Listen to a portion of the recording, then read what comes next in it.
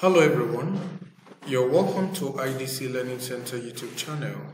For today's video, we'll be looking at BECE Mathematics past questions and answers. These are likely exam questions that will definitely help you as you take your BECE exam 2023-2024. Let's look at the very first question here. We have 1 over Okay, so let's get to work.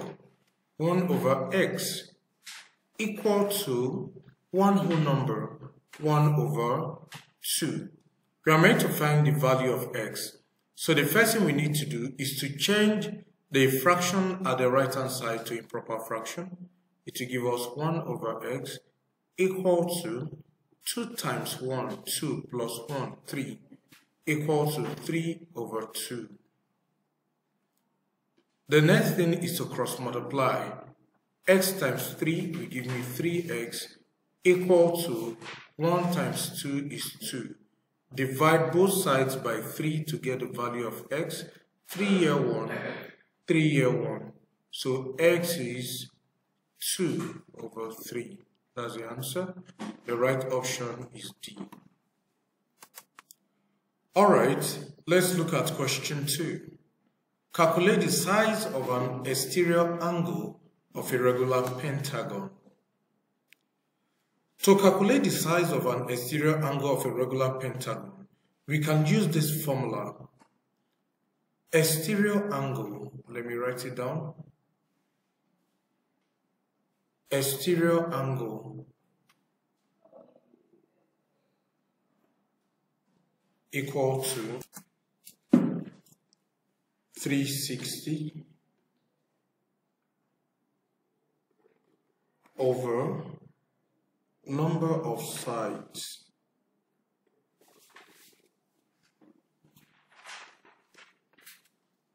Now, in the case of a regular pentagon, the number of sides is 5.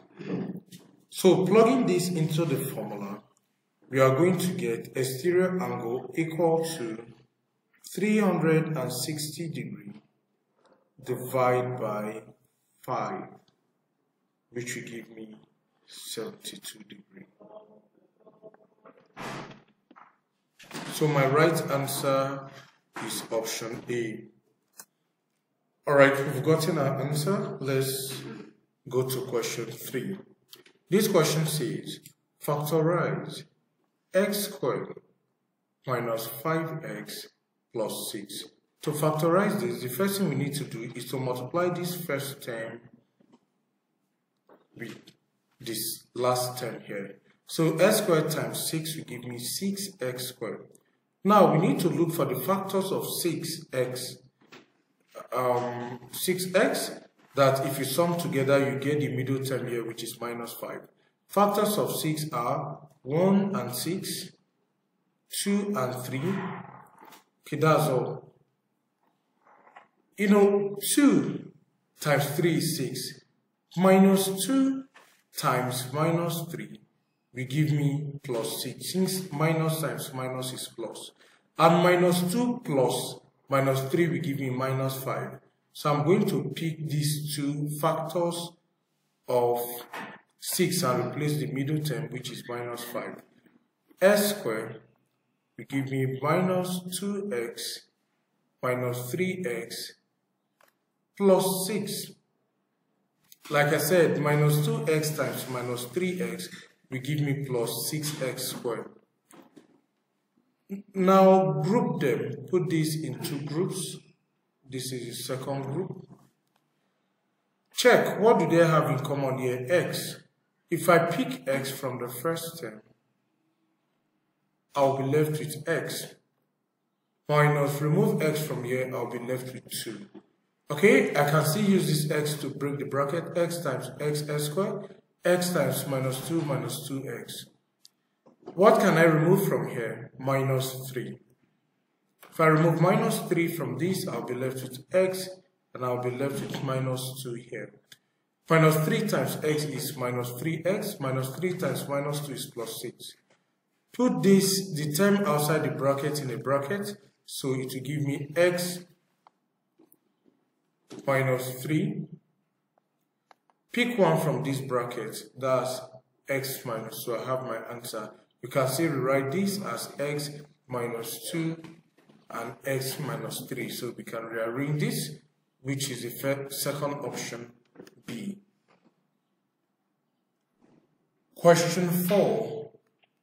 Kwame, Atsu, and Kojo shared a profit of 50,000 cedis in the ratio 1, ratio 4, ratio 3 respectively. How much did Atsu get? Whenever you have a question like this, the first thing you must do is to find the sum of ratio. The sum of ratio is simply 1 plus 4 plus 3 which will give me 8. 1 represents what Kwame gets, Atsu gets 4. And they ask us to find how much Atsu we get. So it will be 4 out of sum of ratio, which is 8, times the amount they are meant to share, which is 50,000 cedis. 4 year 1, 4 year 2.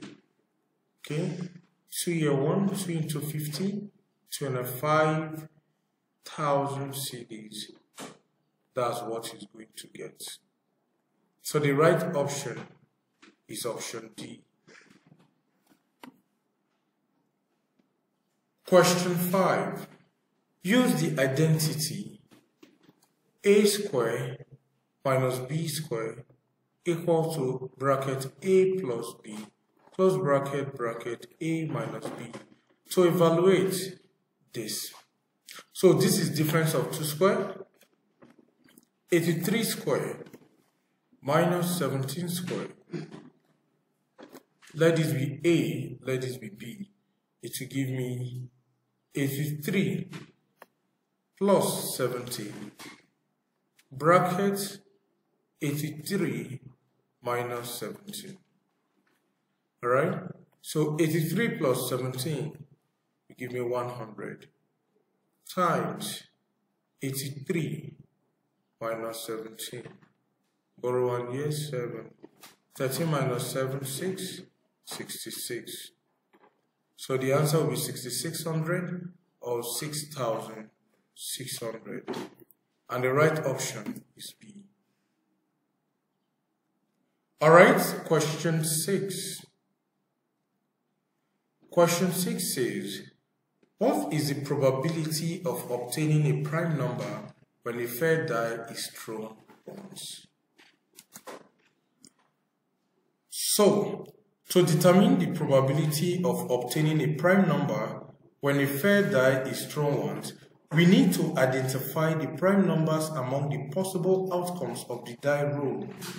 A fair die, like you know, has six sides. Don't forget that. Okay, these six sides are numbered from 1 to 6. Among these numbers, the prime numbers are 2, 3, and 5. So out of the six possible outcomes, three of them correspond to prime numbers. Therefore, the probability of obtaining a prime number when a fair die is thrown will be 3 out of the 6 possible outcomes, which will give me 3 year 1, 3 year 2, 1 over 2. The right option is B. Question 7. The following are the scores obtained by girls in a beauty contest. 12, 16, 19, 14, 17, 8, 11, 19. What is the probability of obtaining a score of 19? How many 19s do you have here? We have 1, 2. So the possibility of obtaining 19 is 2 out of total possible outcome. We have total numbers 1, 2, 3, 4, 5, 6, 7, 8. 2 out of 8. 2 year 1, 2 year 4, which is 1 over 4. The right option is C. Question 8. Express 25 as a percentage of 75. So 25 out of 75 as a percentage, you multiply by 100%. 5 year 5, 5 year 1 remaining 2, 5 to 25, 5, 5 year 1, 5 year 3. Let's divide 100% by 3. 3 into 10, 3. 3 times 3 is 9, take away, we have 1, bring down the 0. 3 here into 10, 3, 9, take away 1, can go point 0. This is a recurring decimal, it will give, keep giving you 33.333, so the right answer is 33.3%, which is D. Question 9. Find the value of m given that m is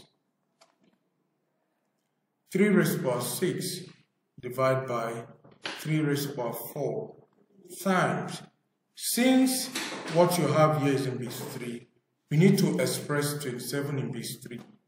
You know that 3 times 3 times 3 will give me 27. How many 3's do we have here? 3. So 27 will be 3 raised to the power of 3. Okay? 3 raised to the power of 6 means 3 in 6 places. 1, 2, 3, 4, 5, 6. 3 raised to the power of 4. 1, 2, 3, 4. So the 4 3s, 1, 2, 3, 4. We cancel 4 3s. 1, 2, 3, 4.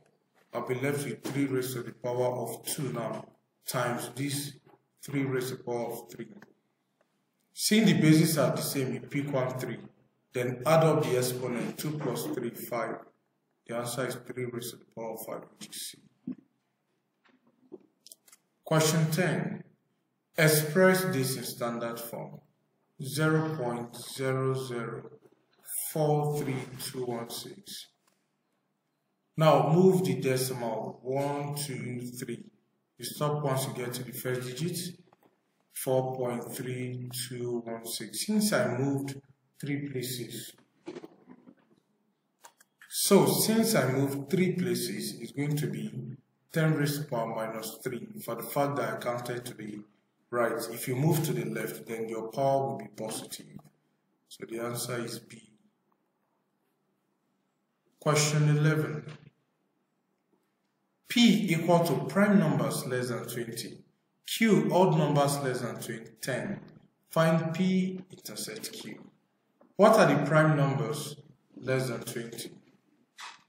There are 2, 3, 5, 7, 11, 13, 17, and 19. Odd numbers less than 10.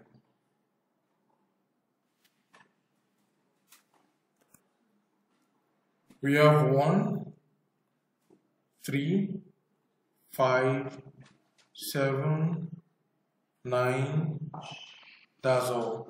So P intersect Q means what you have in P and Q. There's 3 here, there's 3 here, there's 5 here, there's 5 here. There's 7 here, there's 7 here. My answer will be 3, 5, 7. And the right option is D. Question 12. Convert 10410 to binary numeral. Binary means base 2. So we divide 104 by 2.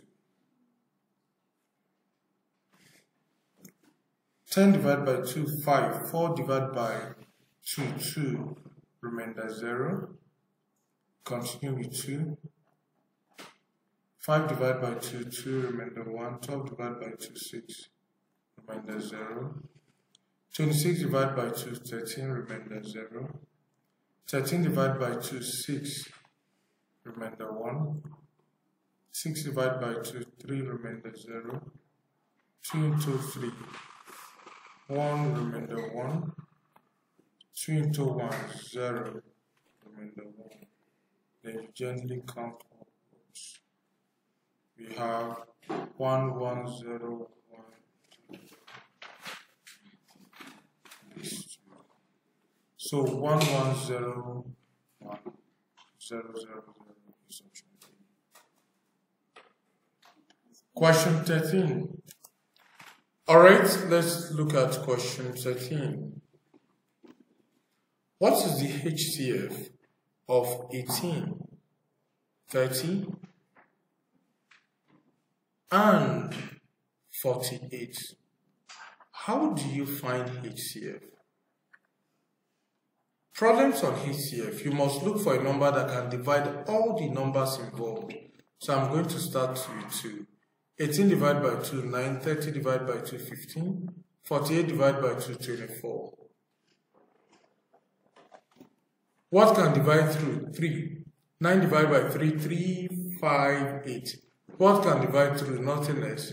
So the HCF will simply be 2 times 3, which are the divisors.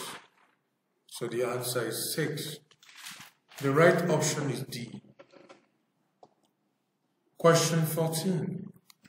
Express 34 meters, 5 centimeters in millimeters. 1000 millimeters will give you 1 meters. So 34 meters in millimeters will be 34,000 millimeters equal to 34 meters. 10 millimeters make 1 centimeters. So 5 centimeters will simply be 50 millimeters. Sum this up. 0, 5, 0, 4, 3. 34,050 millimeters will be your answer.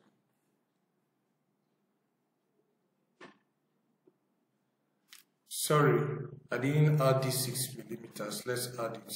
So plus the last 6 millimeters. Okay, so this will be 6.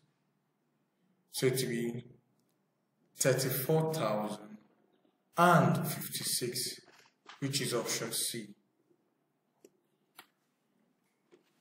Alright, question 15.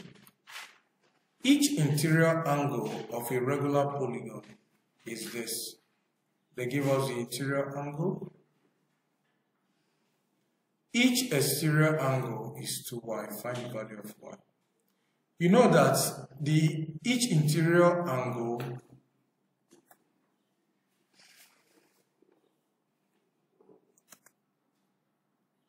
plus each exterior angle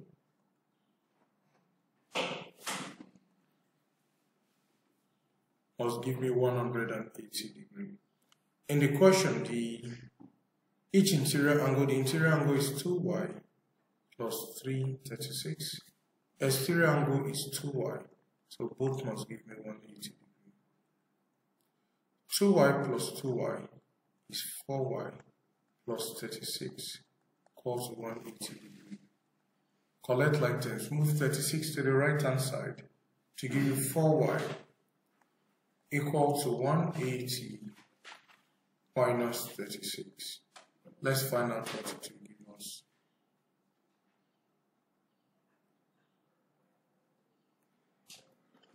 This is 4, 7 minus 3, 4. Give me 1, 4, 4. 4y equal to 1, 4, 4. Divide both sides by 4 to get the value of y. 4 year 1, 4 year 1. 4 year 1, 4 into 14 is 3, remainder 2. 4 into 24 is 6. 36 degree B is the right answer. Alright, thank you. Let's look at question 16. Let's solve this. Alright, let's bring out the fraction. Let's um, change everything to improper fraction. 2 times 1, 2 plus 1. 3 over 2 plus 2 times 2, 4 plus 1, 5 over 2, times 3 over 4 minus 1 over 2. Sorry, this is minus. Then we must use BODMAS. Multiply first. 3 over 2 plus 5 times 3, 15, 2 times 4, 8, and minus 1 over 2. LCM, the LCM is 8. Divide and multiply. 8 divided by 2, 4, 4 times 3, 12, plus 8 divided by 8, 1, 1 times 15, 15, minus 8 divided by 2, 4, 4 times 1, 4. So 12 plus 15 is 27 minus 4, that's 23.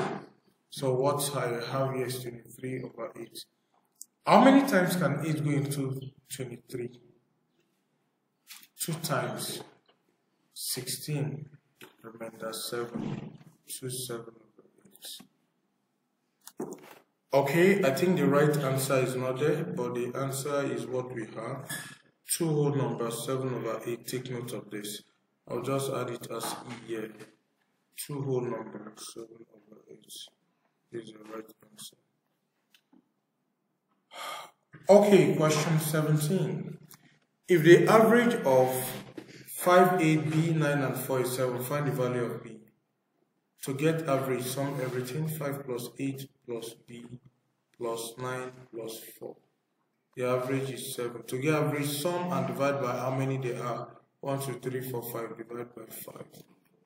5 plus 8 is 13. 9 plus 4 is 13. 13 plus 13 is 26. So 26 plus b over 5 equal to 7 over 1.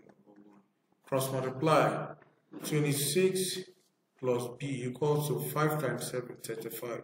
Collect like terms. b will give us 35 minus 26, which is what? 9.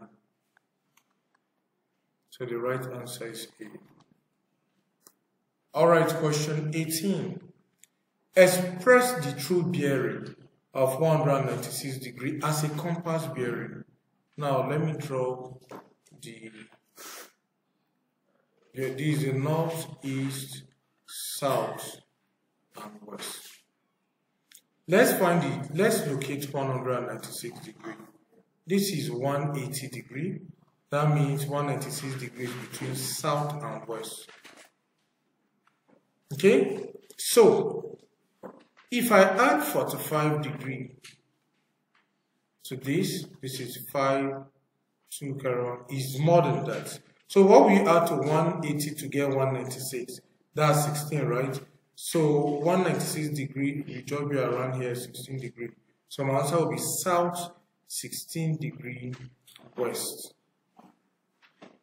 which is A. Question 19. A student is picked at random from a class containing 17 boys and 13 girls. What's the probability the student is a girl? The total sample 17 boys plus 13 girls, girls will give me the total student of 30. The girls are 13. My answer is 13 out of 30, which is B. Question 20. Evaluate this. Change to improper fraction. 9 times 5, 45. 45 plus 4, 49. So square root of 49 over 9. The square root affects both of them. Square root of 49 is 7. Square root of 9 is 3. 3 into 7. 2 remainder 1 out of 3. Or 7. Okay. 2 number 1 over 3. I'm going to put the answer for you. 2 two.